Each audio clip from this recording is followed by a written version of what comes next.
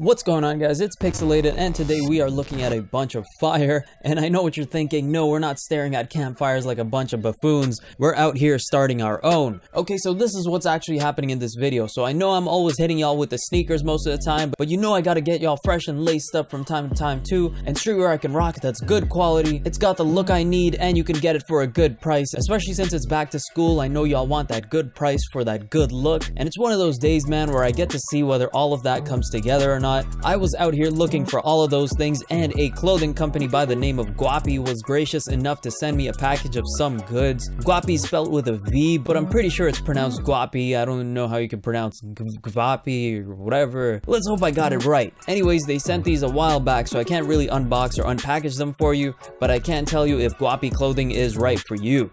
Feel free to like and subscribe at any point during the video if you enjoyed it. Now, let's peep this package.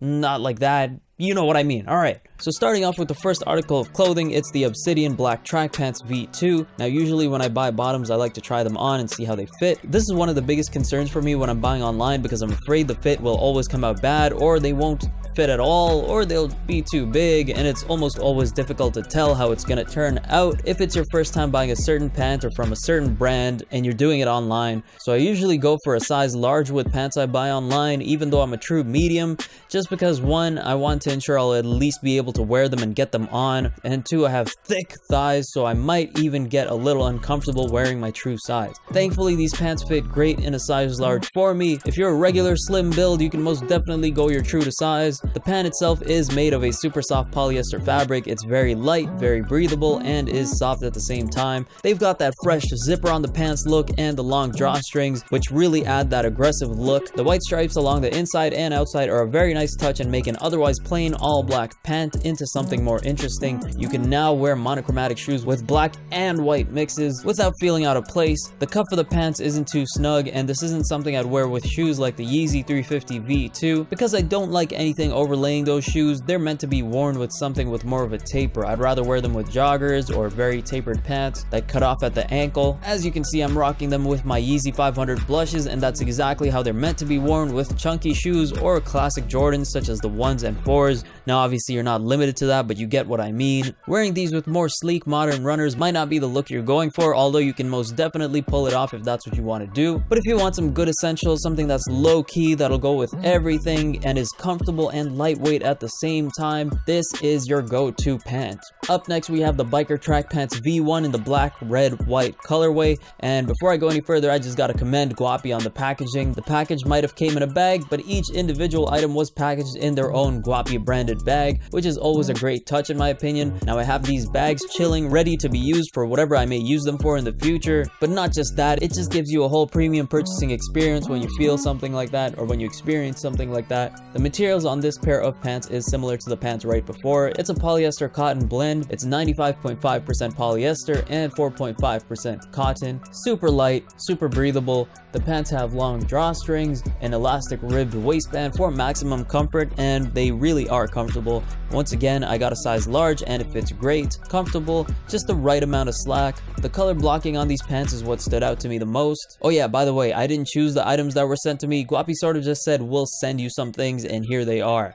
So just keep that in mind for the rest of the review. I think I got to pick maybe one pair and that was this pair that you're seeing right here. Either way, let's keep it moving. The color blocking is great. Good colorway to rock with something like Chicago's, Bred Toes, or hem hem Nike Cortez. Oh, and it just so happens that I'm wearing the Nike Kenny Cortez with this pair of pants. That's the Nike and Kendrick Lamar collab.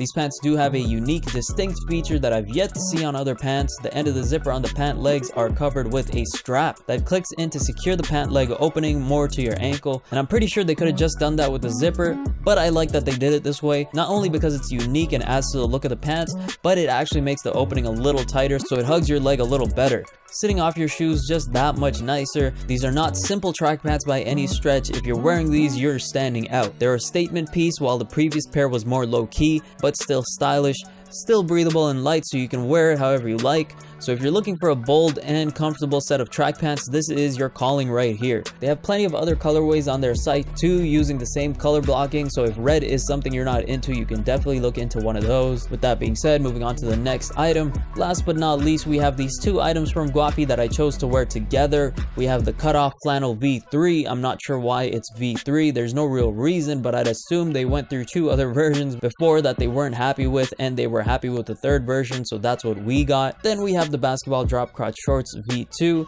Again, the V2 probably means the first version was scrapped for a better improved V2 version. Mm-hmm. The cutoff flannel is a somewhat unique piece that I've never really seen myself wearing. I'm not really sure why. Maybe the cutoff sleeve holes are too big or I thought it defeated the purpose of a flannel. But in fact, I really like this. Note, I'm wearing it with a hoodie underneath. So I could just show a variation of how you could wear it, but it is often worn on its own. So if that's what you're into, go for it. It is better in hot weather anyway to do that.